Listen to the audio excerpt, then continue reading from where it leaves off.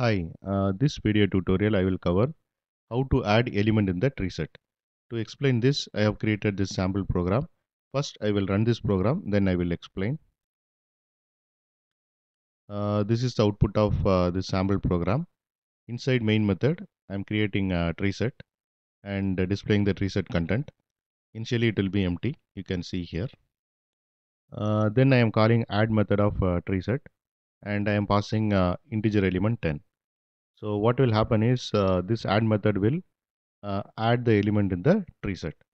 And if it is added successfully, it will return true, else it will return false. So if you see is added is uh, true and I'm displaying the tree set content and you can see the element 10 has been added to the tree set. Uh, then again I am calling add method of uh, tree set uh, and I am passing the same element 10. So what will happen is uh, it won't add this element 10 in the tree set because uh, tree set won't allow the duplicate elements. So is added uh, will be false.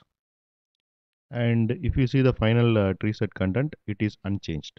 Uh, it is equivalent to the previous uh, tree set content. And uh, this is about uh, how to add element in the tree set using add method. And uh, thanks for watching. Bye.